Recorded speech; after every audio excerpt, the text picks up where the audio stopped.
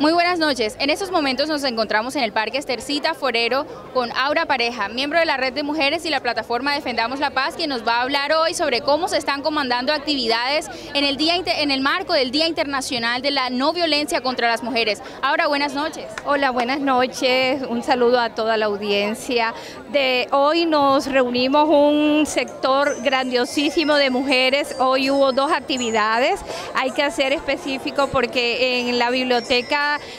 que está enfrente de la, de La Paz, Barrio La Paz, de la Biblioteca de La Paz, se congregó un grupo de mujeres que hizo esa memoria histórica y hoy nos congregamos todas las redes de mujeres del Atlántico, eh, visibilizando la violencia que hay a nivel nacional, los casos de impunidad. Lo que más nos preocupa a las diferentes organizaciones sociales de la mujer es que el grado de impunidad, no hay una política pública realmente para hacer una mesa de trabajo y eso lo estamos pidiendo al nuevo alcalde, el doctor Pumarejo. Ojalá que se eh, eh, exista una mesa de concertación con todas las redes de mujeres aquí.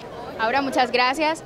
Bueno, eh, la invitación para las mujeres en este día, en el marco del Día Internacional de la No Violencia contra las Mujeres, es a que no callen, a que denuncien y a que no dejen que se mantengan en la impunidad todos estos casos de violencia contra las mujeres. Desde el Parque Estercita Forero en la ciudad de Barranquilla, Vivian Salas para CB Noticias.